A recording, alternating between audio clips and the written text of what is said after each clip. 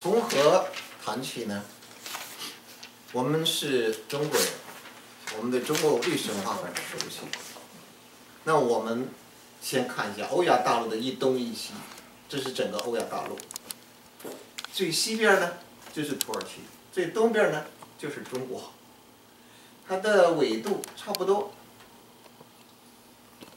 那么，土耳其历史上跟中国距离这么遥远。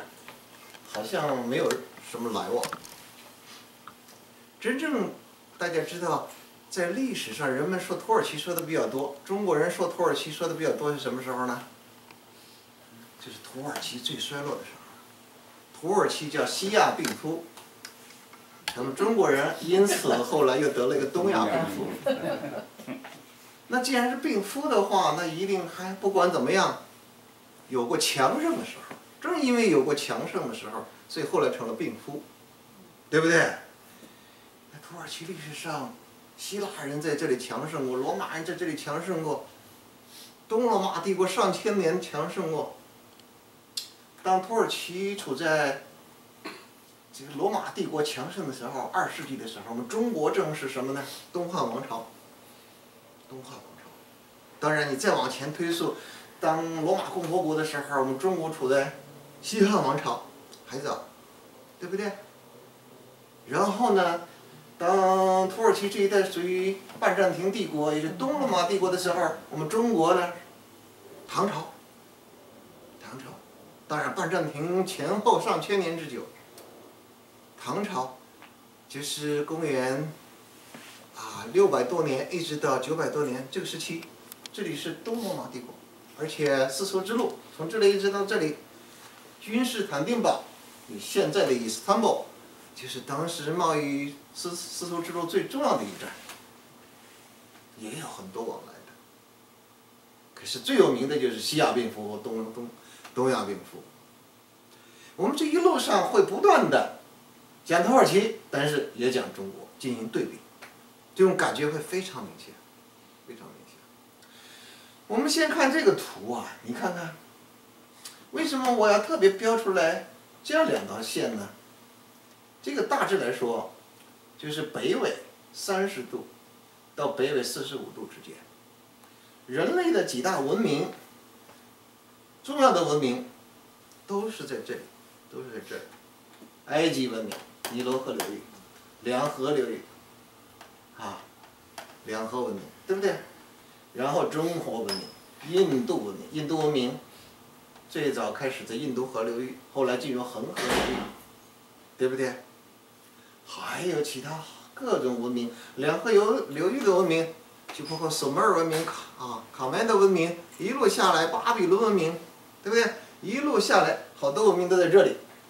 啊，那么还要到这边希腊文明，还有这边罗马文明，哇，西亚文明，都在这个范围内。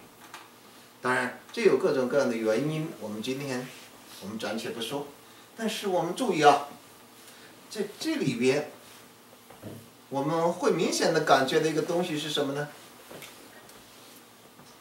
中国文明就是中国人的文明，就是说，汤恩比啊，就英国历史学家汤恩比，他是最有名的历史学家，二十世纪啊，那他把人类分成二十六种文明。咱们中国民就是这些文明中一种。我们中国人是长得都差不多，都是蒙古利亚人种，对不对？我们中国人都是用汉字说着啊，说中国话，什么都相似。可是土耳其这个地方呢，这我自己查了一下，我觉得这里有十几种文明都跟它有很深的关系。那这个东西是为什么这样呢？啊，为什么这样呢？大家想想看，对于我们中国来说，我们真正的强敌就是主要是来自西北的游牧民族，所以我们要修长城。我们的敌人就是这些大漠上、草原上来的那些敌人，啊，从匈奴啊、鲜卑啊、柔然呐，那一路算下来，一直到蒙古人、到满清人，那后来。这个金人呐、满清人主要来自东北这边，主要来自这边，所以我们长城往哪儿修，敌人就在哪边。其他的地方我们几乎没有什么太担心的，对不对？你看这青藏高原，世界最高无极；喜马拉雅山，世界最高的山；帕米尔高原，把多少敌人挡在了外面。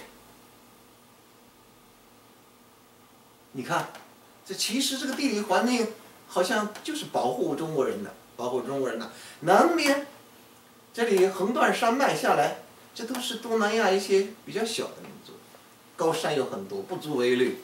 东边呢是海，中国这个海呀、跟土耳其周围的海不一样。为什么这边的海呀、都是很小的海，而且岛屿很多，所以这航海文明早就开始了。可是中国不是，中国这旁边都是大海，都是大海，一直到唐代鉴真和尚去日本，还十多次翻船，没不利于航行。而且中国又是个农业国家，中国人呢不大注意经商，所以呢海上的文明来得很晚。在这种情况下，中国人呢等于是说，我们是世界上人口最多的国家，完全是有原因的，就是因为封闭的一个环境。那这样一个辽阔的土地，不管你哪一个民族，你杀下来，你都会化为汉人，就像滚雪球一样，越滚越大。你再凶，再猛，你下了马，种了地，你就是汉人了，你就自动融合进来了。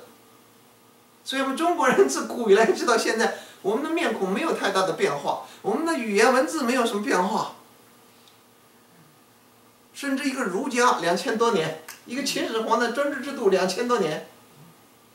啊，我们的持续性太强了，世界上唯一的一个从未间断的文明，从啊，而且基本上一直是一个统一的大帝国。有时候会陷入战乱，这种时间也不短，可是最终还是走向统一。可是土耳其不一样哦，土耳其这片土地上，它不但是语言变了，而且呢。这个人种都变了，它历史上完全是啊，不同的人种在这里生存，在这里生存很不一样。那么大家看小亚细亚地形和地理位置啊，它这个地形你看，那么大家看，北边的能不能挡住敌人呢？黑海挡不住敌人。人类在前三千年，就中国的夏朝还远远没有开始的时候，人类已经有帆船了，已经在航海了。那么，大家想想看，这些都不能作为天然的屏障，都不足以防御敌人。黑海，对不对？你看下面的地中海可以挡住敌人吗？不可以，太多的民族都在这海上往来，希腊人、腓尼基人。腓尼士人就在今天的叙利亚，航海都特别早。那么这边爱琴海更不用讲了，这一部分本来在历史上一直属于就属于希腊。爱琴海，你看它多少小岛啊，多少小岛啊，它的船随时可以停留，所以希腊人航海很早很早。这些都不能挡住敌人。那么东边这些可以挡住敌人吗？你看那雪山，皑皑雪山，对不对？这边就是两河流域了，所以土耳其的东南边就是两河流域，两河流域的文明就跟土耳其分不开。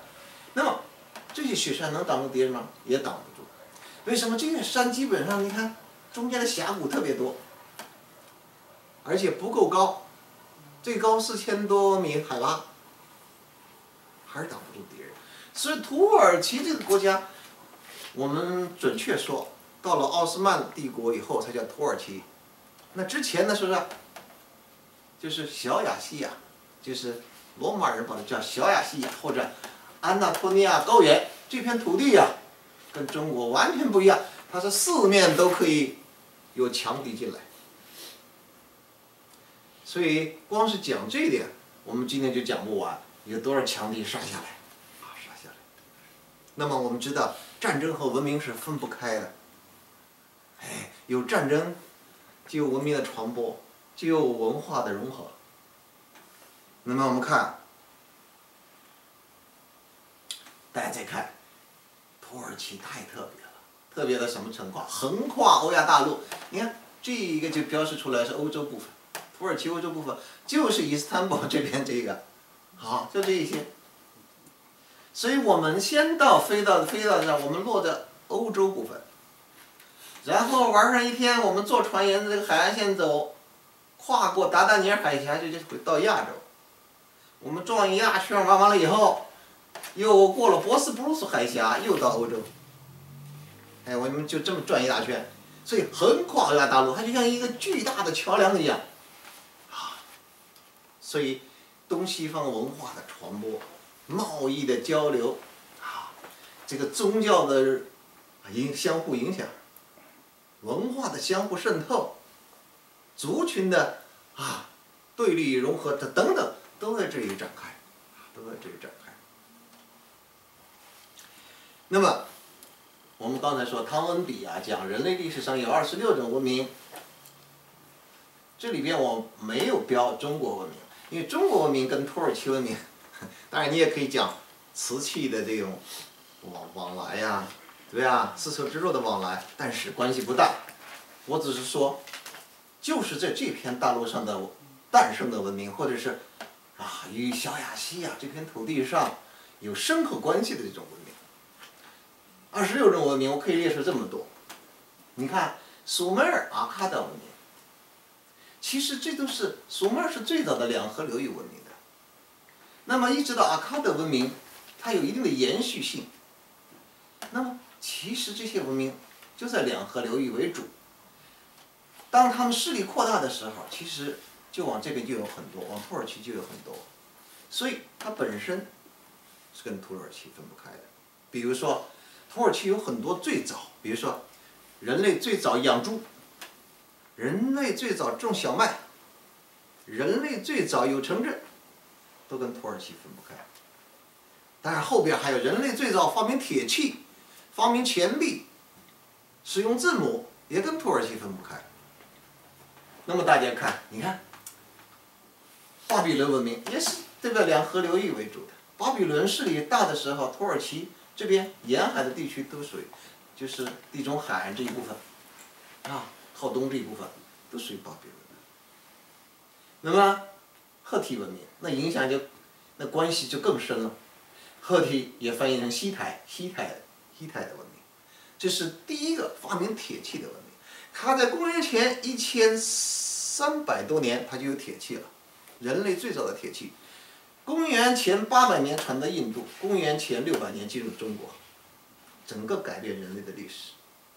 啊，就是就在土耳其中部，我们会看西台帝国的遗址。啊虽然只是残留的那些石头啊，你能感觉它当年气势不得了。嗯，而且它强大的时候，土耳其绝大部分都属于西台帝国，而且它势力一直发展这里，跟埃及的 r a m e s e s 二世对垒，还是非常强大的一个帝国。它是二十六种文明的一种文明，亚述文明，亚述文明 Assyria，哦，这个也是很厉害的，时间历史上很久。因为西台帝国衰落以后，他把铁器拿来打仗，啊，他厉害的不得了。现在人类的亚数学也是比较兴盛的，很多人都亚研究亚述。亚述势力扩张的时候，土耳其这边这东边相当一部分都属于他。那么，克里特迈锡尼文明，大家看这个小岛，克里特岛，Cre，在这里，对不对？也叫迈诺斯文明。在公元前三千年前就开始了，非常古老的，它的青铜器文明，对不对？哇！而且那个时候它的贸易文明已经很发达了。人类历史上，你看这些古老文明，真正男女比较平等的文明，就是这个文明。啊，因为它是商业文化，女人的地位相对比较高。大家去希腊的话，到这边一定会看到这里，还有宫殿的遗址。那么。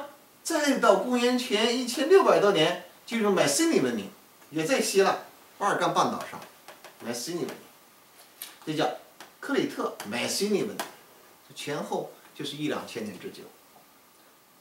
腓尼基文明在西亚，在这个地区，叙利亚这一带，腓尼 i 哦，它的文明也不得了，它是人类最早就是有字母的这样一个文明啊，字母很重要，就是以腓尼基字母，后来变成了什么呢？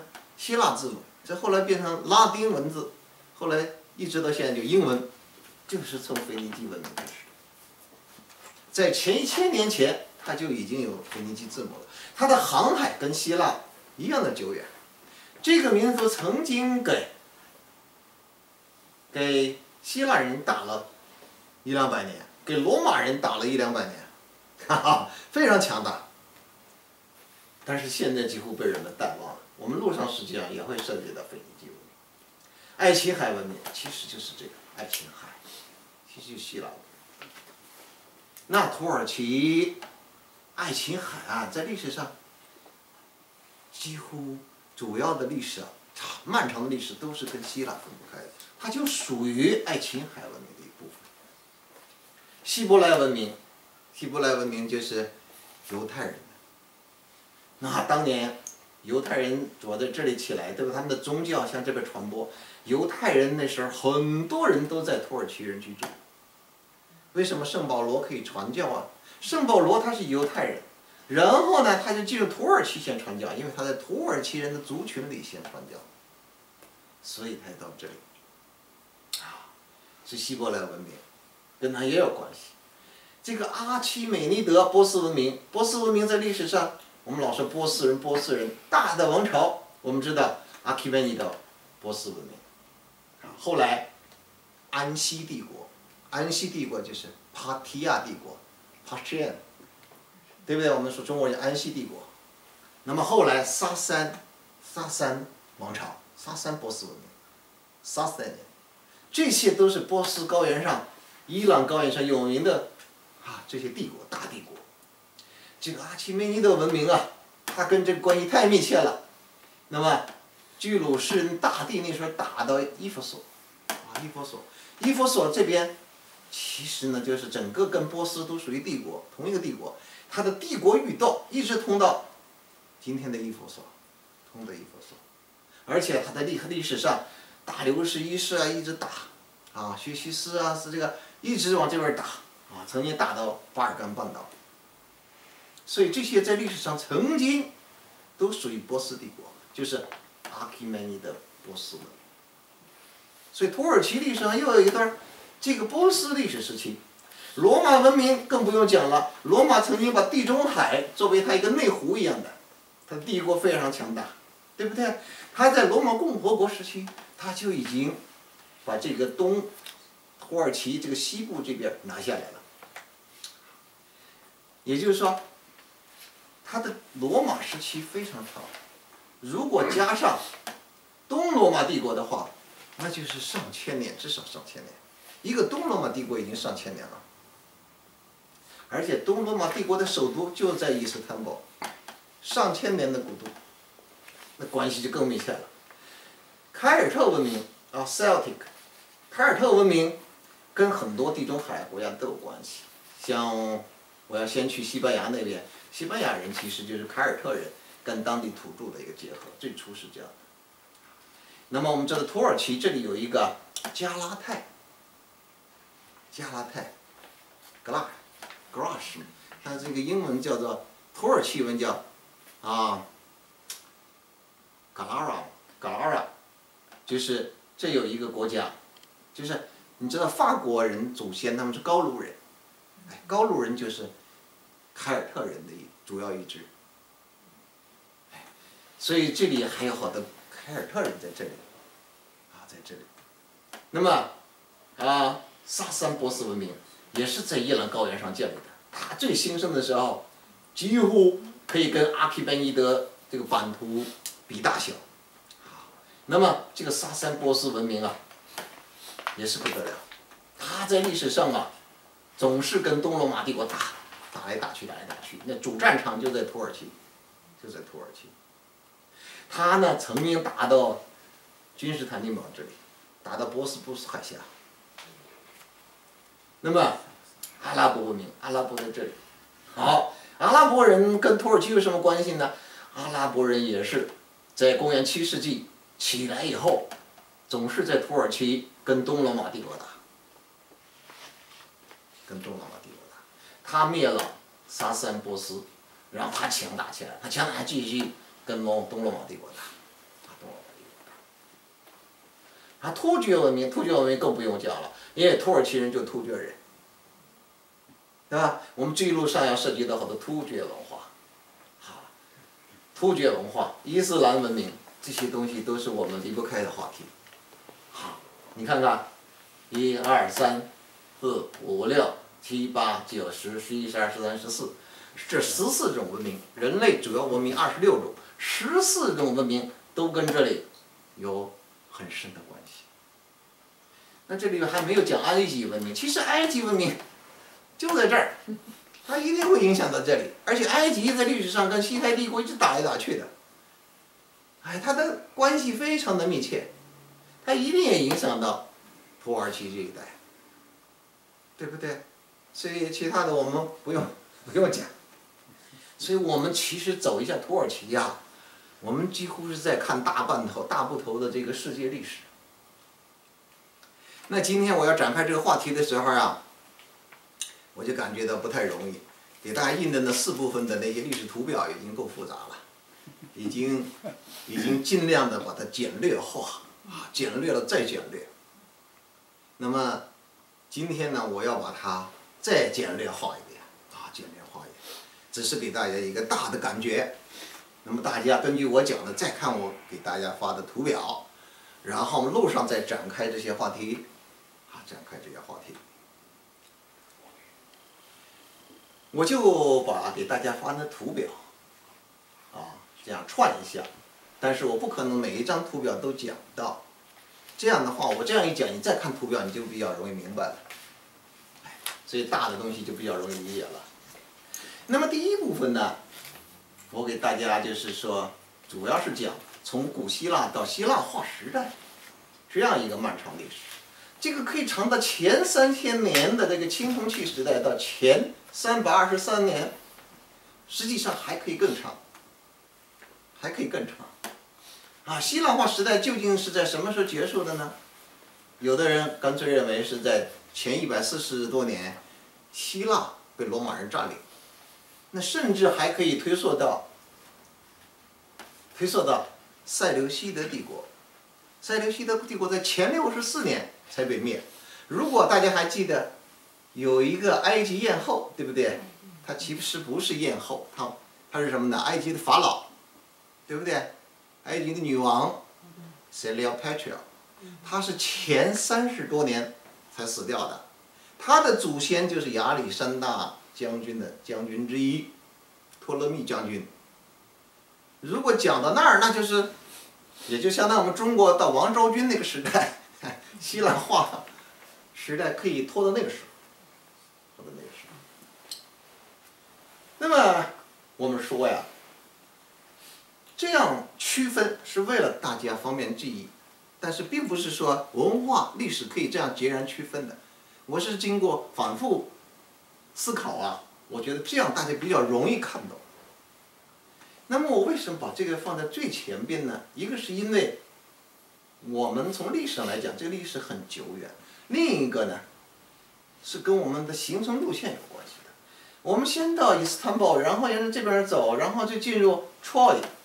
然后到坡干嘛，然后到 Ephesus，这里都有希腊人留下的遗迹，而且是从这个希腊城邦时代，甚至更久远的是前公元前前两百多年的 Troy，木马记故事发生的地方，从那里一直到一直到什么时候呢？一直到希腊化时代，这么漫长的时间在这里。能找到不少遗迹和文物，好，所以我这样标出来，就是告诉大家，我们去这些地方是跟希腊希腊化时代有关系的。其实还有这个阿弗洛狄西亚，这希腊的智慧和美神啊的名字。这个城市其实最早是希腊人的城市，而且时间非常久长，是希腊的文学哲学中心之一。我们也会去，而且这种地方，我为什么？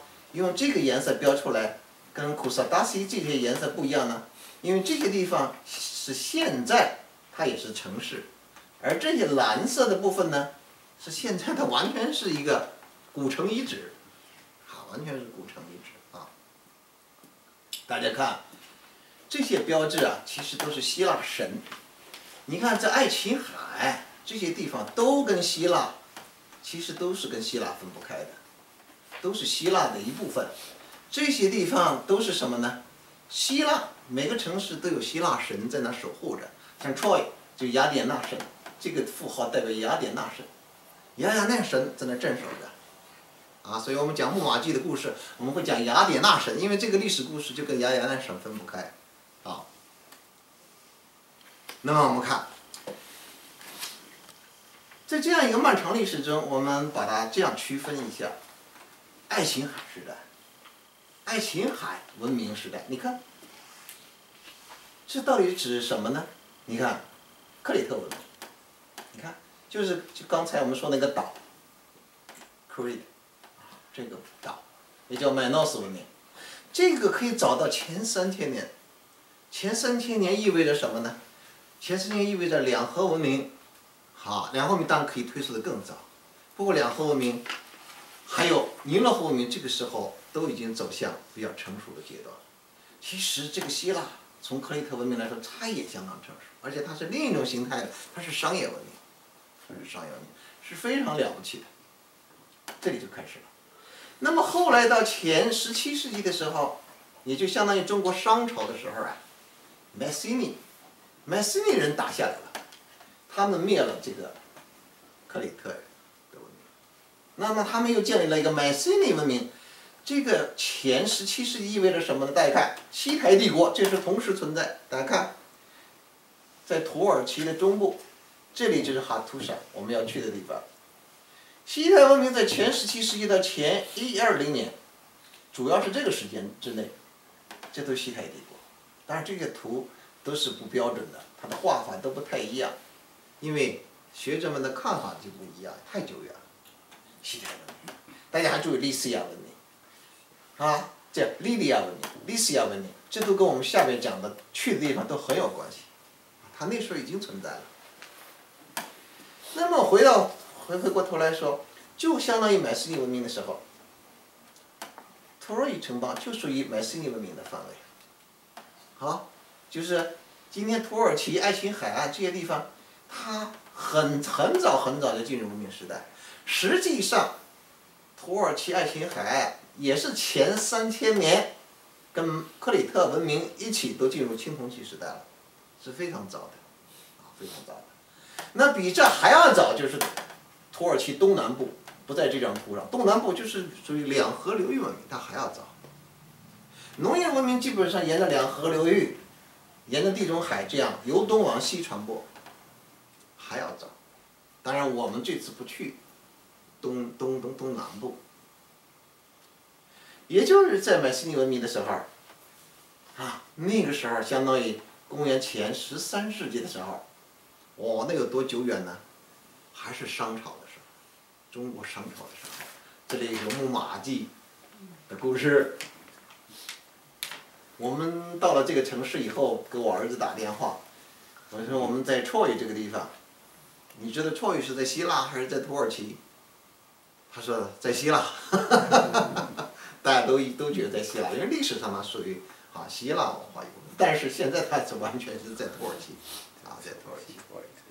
啊，这里我们会看，好，大家再看，我们到那里啊，只能看到什么？这个样一个情景了。可是你看它的文化层至少有九层，这一层呢，我们看到的就是公元前八十五年到公元五百年，就是到东罗马帝国时候，这样一个 Troy。可是它最底下的是。公元前两千五百年到两千四百年，就是中国的夏朝还没开始呢。这这是这个样一个样子。那我们讲木马记这个故事发生的时候是在这一层，这一层，你看，大约是一二五零年十年战争，啊，十年战争摧毁了这里。当初它是这样一个城池，就剩下我们都看不到了，一层层又后来积压了好多层。那么这底下更是都被埋没了，我们会看到这个地方。那我们呢，选择的旅馆是在卡纳 Q，在这里，卡纳 Q，卡纳 Q，啊，卡纳 Q 这个位置非常重要，达达尼尔海峡就在这里，你就知道它的战略位置有多重要了。好，一张狭窄的海峡，对不对？但是我现在还在争取，因为它只有一个五星级酒店，啊，结果他们说现在就这一家不能落实，因为他们在开会，开会，就是纽西兰很多纽西兰人和澳大利亚人在一战中战死在这个地方，啊，战死了很多人，现在呢，他们这个亲人们来这里追悼他们，所以他们要住在这里。我说不行，我们要想办法住在这里。因为这个位置太重要了啊！就不仅这一家酒店舒服，你到这里才知道达达尼尔海峡，啊，达达尼尔海峡旁边，错语就在这里，所以它非常重要。所以为什么君士坦丁大帝最初选择的都城是在这里，后来他才变得啊半占庭呢，啊就是今天的伊斯坦布尔，这这个位置非常重要。当然这些我们到那或者在这之前我们再讲，我们今天没有时间展开啊。那么我们再看荷马时代，荷马时代其实就是因为有一个叫荷马的盲人，对不对？哎，他吟唱了好多诗诗歌，他主要是《伊利亚特》《奥赛特》这两首长诗。那他这个长诗里边也提到了 Troy，人们以为这个完全是传说，对不对？结果后来考古学家还挖出了真的是有这么一个城市，而且真的有发生过战争。这个荷马就生在土耳其的爱琴海。具体什么地方并不清楚，啊，他是这这里的人。那因为是他所歌咏的那个时代，所以叫荷马时代。因为关于这段历史太少了，还有这个时代叫黑暗时代。希腊人本来是用商业文明，非常发达。可是这前一千两百年左右啊，那是多瑞安人、多里安人杀下来了。他们是一种游牧民族，他们拥有了铁器，就是由西台人发明的铁器。掌握在他们手中，他们就杀下来了。他们杀下来呢，就像当年麦西尼人灭了克里特人，他们呢又灭了麦西尼，所以呢，整个这个地方就乱了。在这种情况下，有很多在前一千年，艾奥尼亚人，艾奥尼亚人，他们就怎么样呢？就跑到跑这儿来了。这个颜色，这个粉红色表示。艾奥尼亚人生活的区域，啊，很多人是这样，啊，不是表示艾奥尼亚生活区域，它是表示这个哦，艾奥尼亚啊，对对对对，艾奥尼亚人生活区域，很多人跑到这里了，所以我们讲伊弗所斯啊，伊弗所斯就是伊弗所，我们说，那最早就可以追到艾奥尼亚人，那么这些都是这些地方，所以这些人他们的人种本身。他们就跟这边的人是是一回事儿啊，是一回事儿。语言、人种、文化都是相同的。那么大家再看啊，哦，这个颜色呢，就是斗瑞尔人占领的地区，就是带着铁器杀下来的斗瑞尔占占领地区啊。叫荷马时代。那么我们今天讲的这个希腊，通常。其实只是讲到希腊城邦时代，因为希腊呢是由一个个城邦组组织起来的，所以它是城邦时代。这可以最早推溯的前八百年已经有一些城邦，一直到后来到前三百三十六年。那么这个是希腊是很兴盛的。大家看，土耳其的爱琴海，包括包括特洛伊 （Troy），包括伊夫索，包括米利都 （Miletus），这些呢都属于希腊。啊，希腊城邦时代，哎，你看，这都属于希腊，这个时间是非常久长的，非常久长的。也在这个城邦时代，你看希腊的文明扩张的非常快。你看这些红色的这些点儿啊，这方块啊，都是希腊人建立的城邦。你看有多少？你看，包括黑海，都是他们建立的。所以我们从伊斯坦布尔一直到卡纳 Q。沿着马尔马拉海这边一路走下来，其实过去都是一些希腊城邦，希腊城邦，希腊的神话传说好多故事都跟这个马尔马拉罕分不开，啊，分不开。那么这个就是半占庭，因为希腊人呢，啊，里边呢就是当年从北边杀下来的那个斗瑞尔人，他们呢在这里建立了半占庭，有了这个名字，啊，半占庭，就半占庭帝国那个半占庭就从这里来的，啊，你看多少希腊城邦。那么我们再看。这些我们更难于在今天展开，我只是想让大家知道，你看，在希波战争，希腊和波斯战争，你看，波斯帝国强大的时候有多大？这边在印度的印度河流域，啊，这边印度河流域，这边呢就帕米尔高原，这边一直到了什么？到了巴尔干半岛了，啊，到了巴尔干半岛了。那伊夫所，伊夫所在哪里呢？你看。这个波斯帝国阿提曼尼德王朝的这个帝国的御道，一直到伊弗所，一直到伊弗所，这么大的一个波斯帝国。你看希腊那会儿只有多大呢？这一点绿色的这一点，还要对付这么大一个帝国。这个帝国实际上已经横跨欧亚非了，横跨欧亚非了。那么在这几十年的战争中，打来打去，打来打去，在这里我只是。强调一点，爱琴海岸的这些希腊人，都是站在希腊的一边的，因为他们人种语言上，他都属于希腊那边的。所以说，在小亚细亚历史上，东西方决战啊，在这个时候已经打得稀里哗啦，啊，好多战争啊发生在这时候，包括大家有没有看过呢？哎。斯巴达那个八百壮士，对不对？哎，都是这个时期的啊，前五世纪啊的一场战争，都这个时期啊，都是抵抗波斯人的这种战争。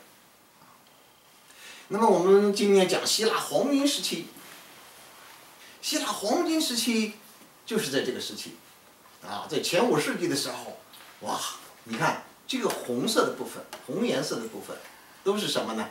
大家都进入了德洛斯同盟。德洛斯同盟其实就是以雅典城邦为主的这个同盟，这是其实希腊黄金时期也是以雅典人为主的这样一个这个城邦为主的这样一个时期。那大家看，爱琴海岸这个小亚细亚部分，都是属于雅典城邦这个领导的范围之内，啊，它都属于这个范围。在这个辉煌的时期，我们今天说帕特隆神庙啦。对不对？米龙啊，这麦隆斯的这个 Marons 这个织铁饼者，这个雕塑咱们大家都看过，对不对？美术画册大家都看到，这个时期都在这个时期。而在小亚细亚的爱琴海诞生了希罗多德 （Herodotus），这是这是中希腊历史上最早的历史学家。好，他的历史书，他的历史书就叫历史，啊，精彩的不得了。好，大家有没有看过《English Patient》那个电影？啊，那里边那个男主人公老看的那本书，就是这个 希尔多托斯的历史啊，就这本书。他就生在小亚细亚的爱琴海啊。那么还有那个时候的医学之父希波克拉底，他也生在小亚细亚西海岸，所以这本来就属于希腊文明最灿烂时期的一部分。那么希腊后来又发生了呢？希腊这个整个这个岛屿发生征战，这个时候中国正是这个春秋啊战国时候，战国时候打得死去活来，跟中国情形非常相像。先是什么呢？雅典人称霸，后来斯巴达斯巴达人起来了，斯巴达人就是那个最能善战的，最能打的，最不怕死的。那小孩生下来三岁就泡到水里，对不对？扶得起来你就活，扶不起来你就死。哦，这个民族就是，就完全靠战争，对不对？使他能够战胜敌人，啊，斯巴达人，对不对？后来是什么？称霸了二十年，然后底比斯人，啊，底比斯人，底比斯人，大家可能知道的比较少。其实这张图是底比斯强盛的时候，这个颜色就底比斯，底比斯称霸的希腊称霸。底比斯人历史上最有名的就是他们。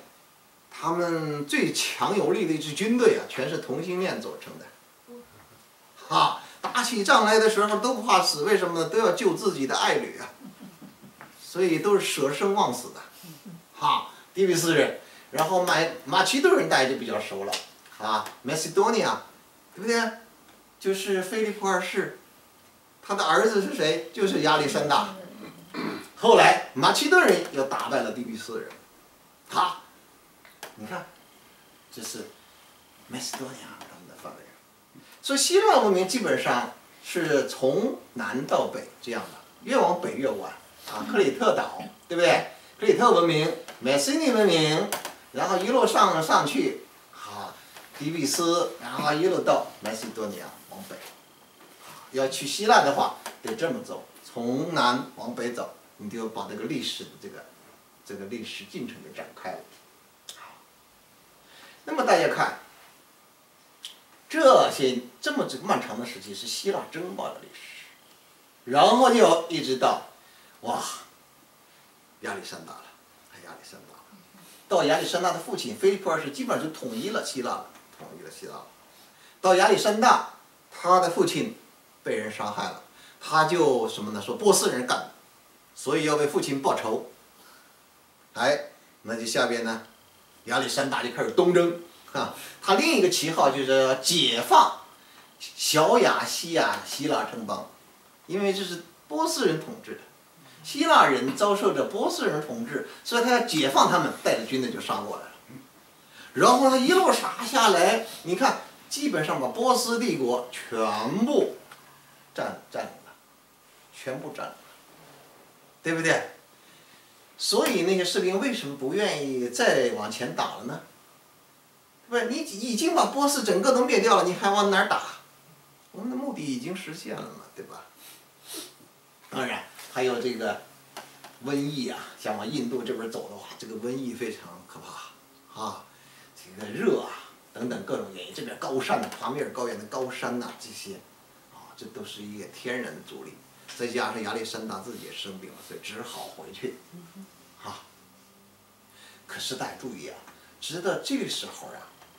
人们心目中的世界文明中心还是在两河流域的，所以亚历山大他的都城是选择巴比伦的，啊，他是选择那里的，但是也就在他那时候开始，希腊语言、希腊文化向整个这些地区传播，就希腊化时代就开始了，希腊化时代。那么大家看，你看这塞琉西的帝国，啊，塞琉西的帝国。这个帝国，这个帝国，这个颜色，这个颜色，以及埃及这边这种颜色，这就是塞列派特的祖先托勒密建立的，这些都是亚历山大死后，这些将军瓜分了他的帝国。嗯。这些将军瓜分了，虽然他们在军事上是敌人，可是他们在文化上是一致的，语言上是一致的，他们继续完成一种东西，就是把希腊文化、希腊语言带向其他国家。所以这就是希腊化时代，这个时代呢常常被人们忽略，其实是很可惜的。而最能感受这个时代的，就是在小亚细亚，最能感受这个东西，因为这里留下的历史遗迹啊，很多东西都跟这个时代有关系啊，有关系。那么比如说我们去贝加蒙普格蒙这个地方啊，这就是希腊化时代建立的一个国家，它也曾经很辽阔很大。他后来跟罗马人合作，后来罗马人就是整个让给罗马人，啊，罗马人进来，这是一个很重要的地方，这里留下了很多东西，啊，伊夫索，在那个时代也留下了一些东西，啊，我们会看到那个剧场大剧场，那主要是那个时代留下的，所以这是希就是希腊化时代，在希腊化时代出现过好多伟伟大人物，所以呢，人们把说希腊。历史上第二个黄金时期，实际上是在希腊化时代。希腊化时代，第一个时期是以雅典为主，对不对？那第二个黄金时代呢？你看，像我们所知道的，不说其他的啊，数学上，啊，欧几里得，啊，对不对？欧几里得的几何学，啊，物理学阿基米德，阿基米德的力学，都是这个时期产生的。像我们看美术上的那个维纳斯，嗯美神，对不对？维纳斯，这是这个时期的。像我们还看到那拉奥孔啊，曾经引起意大利文艺复兴那一组雕塑，也是在这个时期。其实这个时期的辉煌是相当了不起的，而我们去的这些地方，其实可以看到希腊化时代，特别是就是这个波干芒王国，你看，这是这个王国强大的时候，波干芒，其实它是亚历山大一个将军的将军建立的。啊建立的这样一个国家，那他这个势力强大，一直到安安塔利亚，我们也要去安塔利亚、珀干嘛这些都要去，啊，那么这样一个国家，曾经有过很辉煌的东西，是什么呢？他留下的这个遗址是非常不简单的。我们要坐缆车到这里来，好多旅行团不来啊，就是这里费用比较高一点，因为这里要坐缆车，啊，坐缆车上来，上来以后啊。你还会看到很多残留的遗址，像大家看这个周四神庙、周四祭坛，周四祭坛现在在哪里呢？哎，在柏林，对对对，珀干芒博物馆，柏林有个博物馆就叫珀干芒博物馆，然后我们去东欧，我们都看到了，对不对？好，是非常了不起。你看，这是从空中俯瞰，你看这个遗址，剧场，你看这是那个啊，Trajan。罗马皇帝的神庙留下的遗址，啊，这周氏祭坛大概就是这一带啊，这一带。你看，今天它被德国人收藏在柏林，啊，就是博物馆岛五个博物馆其中一个最有名的就是珀干芒博物馆。哇，你看这个，相当惊人，相当惊人。啊，所以土耳其导游带我们大家到这里，总是很感慨，把我们东西拿跑了。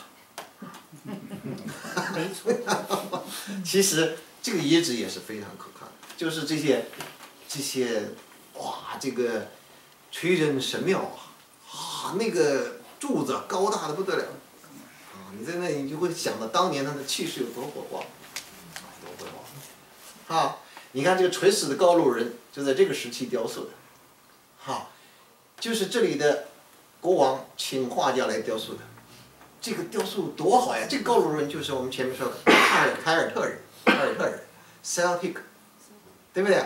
他在土耳其有个加拉泰，加泰国，这个加泰国跟这里珀干芒人打，打了败仗。虽然他们打败了，你看他们一种不屈服的样子。这个雕塑太美了，哈，他低下头，没办法是战败了，啊，甚至后边只有死亡。可是他一种不屈的样子，不屈的样子。啊，你看他的肌肉，啊。高卢人属于土耳其吗？哪个？高高卢人。啊，高卢人是土耳其好多族群中的一支，就是加拉代这个国家是属于他们建的。但是高卢其实不应该叫做高卢，它属于 Celtic 人的底下的一支。其实高卢人是在法国那边，就是凯撒大帝。跨过莱茵河打败高卢人，所以的啊是那个，法国人好多祖先是高卢人，啊高卢人，哎，你看，那么这是我们先看了一下，从古希腊到希腊化时代这样一个土耳其啊小亚细亚，大家稍微休息一会儿吧，我得。